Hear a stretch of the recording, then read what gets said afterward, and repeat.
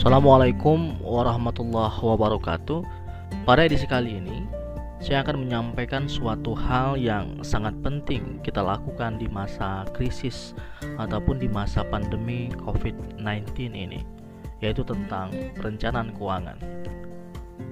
Perencanaan keuangan di masa normal dan di masa krisis tentulah sangat berbeda. Apalagi pemerintah melalui Menteri Keuangan mengatakan bahwa pertumbuhan ekonomi Indonesia hanya diprediksi tumbuh 2,35 persen.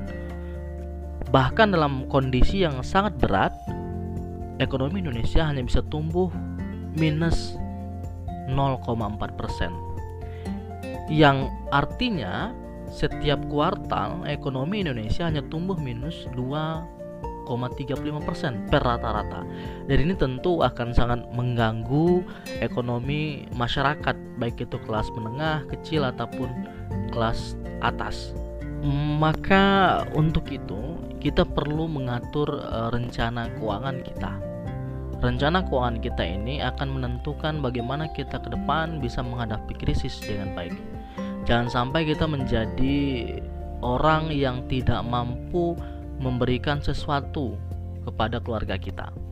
Saya ingin memulai pernyataan saya ini dengan sebuah kisah nyata. Kisah ini menghebohkan dunia maya pada tanggal 23 April 2020, bahkan menjadi trending topik di Twitter. Salah seorang pengguna akun Twitter menceritakan sebuah kisah nyata tentang temannya sendiri, di mana temannya ini bekerja di perusahaan swasta yang bergaji 80 juta rupiah. Setelah terjadinya COVID-19 ini, temannya terkena imbas di mana perusahaan tempat ia bekerja merumahkan para karyawan. Dan apa yang terjadi? Baru dua bulan dirumahkan, rumah tangganya langsung berantakan. Karena memang selama ini keluarga tersebut tidak pernah merencanakan keuangan dengan baik. Mereka mengutamakan keinginan daripada kebutuhan, sehingga kehidupan mereka tinggi sekali. Mereka melakukan kredit mobil mewah, KPR rumah di kota wisata yang harganya mencapai 3 miliar rupiah dan ini tentu sangat merugikan mereka sendiri apalagi dalam keadaan krisis COVID-19 ini. Nah, hal ini kita berharap tidak terjadi kepada bapak dan ibu semuanya. Maka untuk itu saya menawarkan sebuah konsep yang sangat sederhana sekali bagaimana cara kita mengatur keuangan di masa pandemi COVID-19 atau di masa krisis.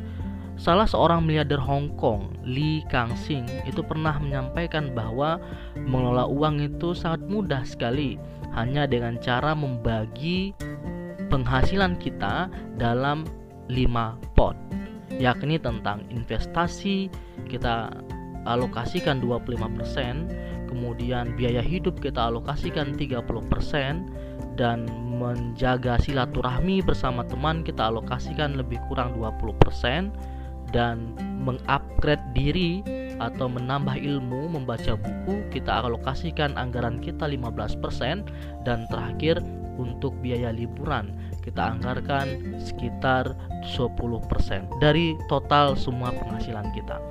Kalau di masa krisis seperti saat ini tidak bisa kita menggunakan kondisi seperti itu karena tidak mungkin kita melakukan liburan di masa pandemi COVID-19 ini ataupun melakukan hal-hal yang sangat memberatkan kita.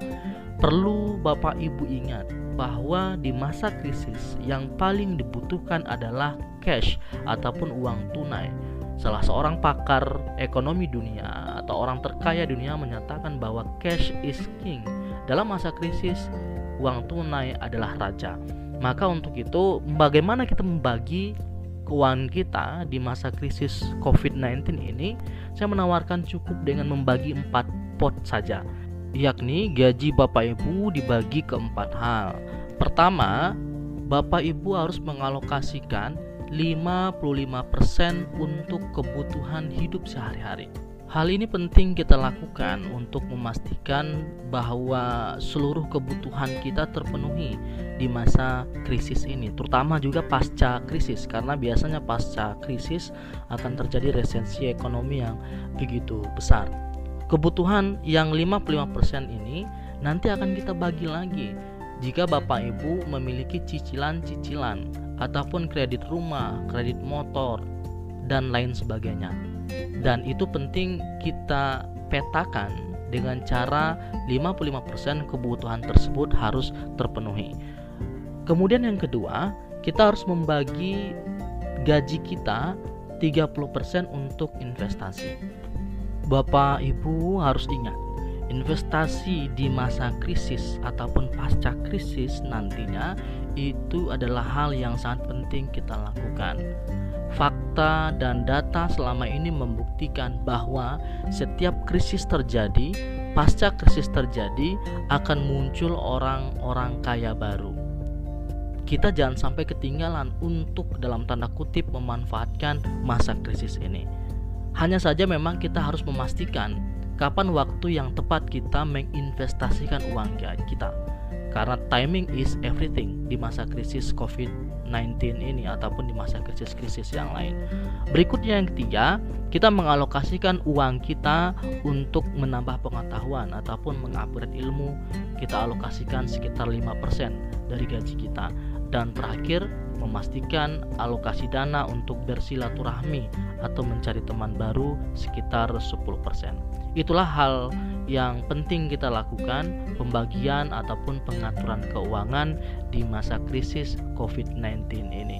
Saya menganjurkan ini penting kita lakukan mengingat nantinya kita tidak tahu kapan masa krisis ini akan berlalu. Bapak Ibu, hal yang saya sampaikan tadi adalah pengaturan keuangan bagi keluarga yang mempunyai dana yang sehat. Dana yang sehat di sini artinya ia bisa membagi setiap gaji ataupun pendapatannya ke dalam empat pot tersebut. Jika tidak bisa dibagi, maka ada yang salah dari pengelolaan keuangan Bapak Ibu selama ini. Maka untuk itu, hal yang perlu dilakukan adalah nanti akan saya sampaikan di episode-episode berikutnya bagaimana mengatasi keuangan kita yang mengalami minus pendapatan setiap bulannya. Terima kasih. Assalamualaikum warahmatullahi wabarakatuh.